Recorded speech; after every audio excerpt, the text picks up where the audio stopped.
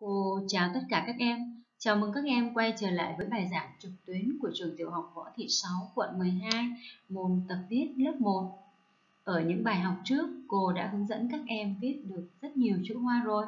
Bài học hôm nay cô lại tiếp tục hướng dẫn chúng ta viết ba chữ hoa mới nữa. Bài học hôm nay cô sẽ hướng dẫn chúng ta viết ba chữ mới, đó là chữ E hoa, chữ E hoa và chữ D hoa. Chúng ta cùng bắt đầu vào bài học. Chữ hoa đầu tiên cô sẽ hướng dẫn các em viết đó chính là chữ E hoa.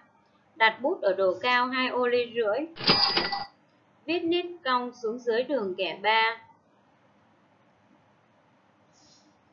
Sau đó lượn ngược lên giống nét viết trên và cong xuống viết nét thắt bụng chữ E trên đường kẻ 2 rồi lượn cong tròn bụng con chữ E hoa, dừng bút dưới đường kẻ 2. Lưu ý điểm đặt bút, điểm dừng bút. Độ cao chữ E hoa là 2 ô ly rưỡi. Độ rộng bụng trên 1 ô ly rưỡi, độ rộng bụng dưới hơn 1 ô ly. Khi viết chữ E hoa, để viết được đẹp thì các em lưu ý nét thắt bụng phải nhỏ nhé.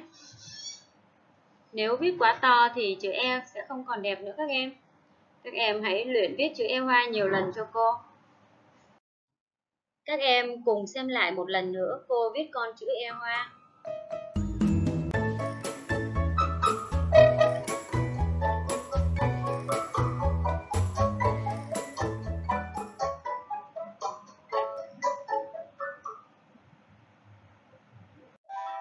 Tiếp theo, cô sẽ hướng dẫn các em viết con chữ E hoa. Để viết được con chữ E hoa, trước tiên chúng ta viết con chữ E.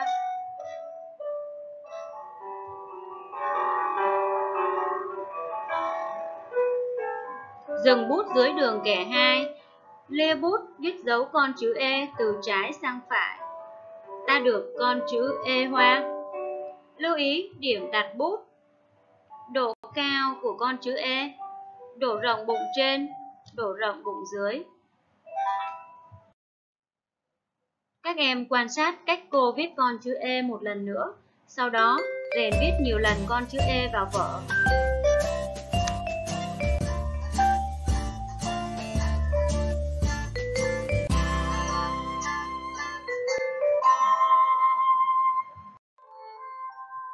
Tiếp theo, cô hướng dẫn các em cách viết con chữ dê hoa.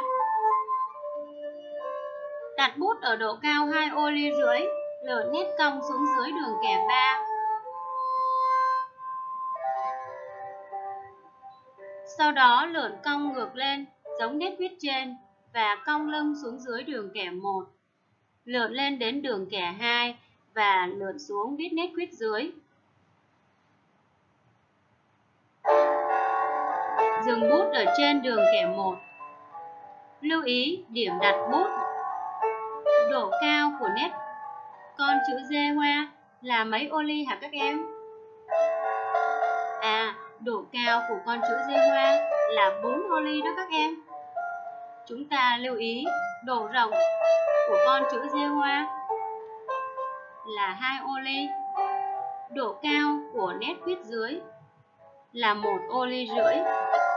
Độ rộng bụng nét viết dưới là một nửa ô ly. Bài học hôm trước, cô đã hướng dẫn các em cách viết con chữ xe hoa rồi. Vậy, chúng ta cùng nhớ lại xem chữ xe hoa và chữ xe hoa có điểm gì giống và khác nhau khi viết vậy? À, giống nhau là chữ xe hoa và chữ xe hoa cùng có điểm đặt bút và điểm đầu giống nhau, khác nhau ở nét viết dưới thôi đó các em.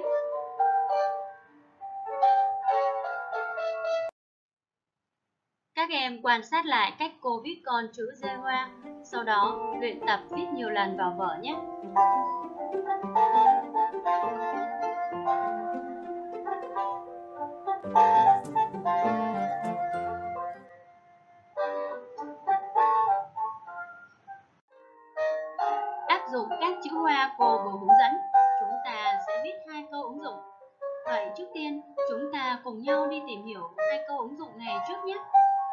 Câu đầu tiên Êm êm một khúc sông cầu Sông cầu là một trong năm con sông dài nhất ở miền Bắc Việt Nam.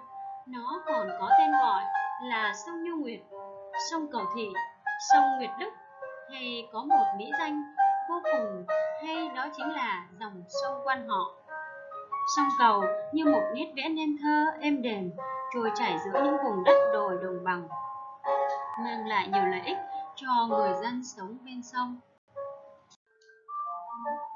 Câu ứng dụng thứ hai Gạo cần nước, nước đồng nai Câu thành ngữ gạo cần nước, nước đồng nai không chỉ nói lên sự dồi dào về số lượng mà còn phản ánh về chất lượng của gạo thóc, của nguồn nước nơi đây.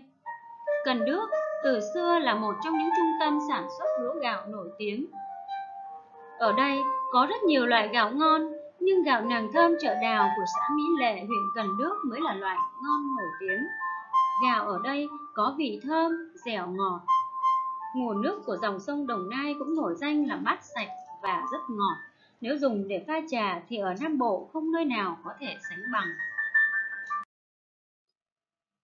Các em ạ, à, nguồn nước của sông Cầu, sông Đồng Nai ngày xưa êm đềm, mát ngọt bao nhiêu thì ngày nay bị ô nhiễm bấy nhiêu. Cả hai dòng sông này đều đã bị ô nhiễm bởi nước thải công nghiệp, nước thải sinh hoạt và việc khai thác trên sông. Điều này đã làm ảnh hưởng đến đời sống, đến môi trường nước, môi trường sinh thái và cảnh quan thiên nhiên nơi đây. Vì vậy, chúng ta hãy chung tay bảo vệ môi trường nước nói chung và môi trường sống của chúng ta bằng cách hạn chế thải chất thải nhựa và nhớ phân loại rác, bỏ rác đúng nơi quy định nhé. Áp dụng chữ hoa E cô vừa hướng dẫn chúng ta viết câu Em em một khúc sông cầu. Lưu ý, khoảng cách giữa các chữ là một con chữ O. Cô đã đánh dấu bằng dấu mũi tên màu xanh. Chúng ta cùng theo dõi.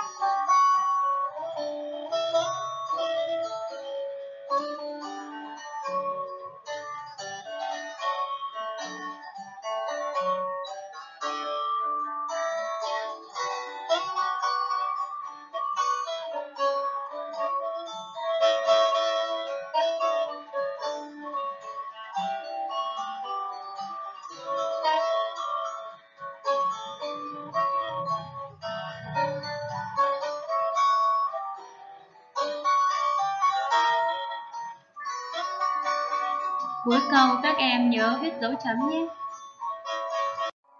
Áp dụng các chữ hoa cô đã hướng dẫn để viết câu gạo cần nước, nước đồng nai. Ở câu này, khi viết chúng ta cũng lưu ý khoảng cách giữa các chữ ghi tiếng là một con chữ O và cô đánh dấu bằng dấu mũi tên màu xanh nhé. Chúng ta cùng theo dõi.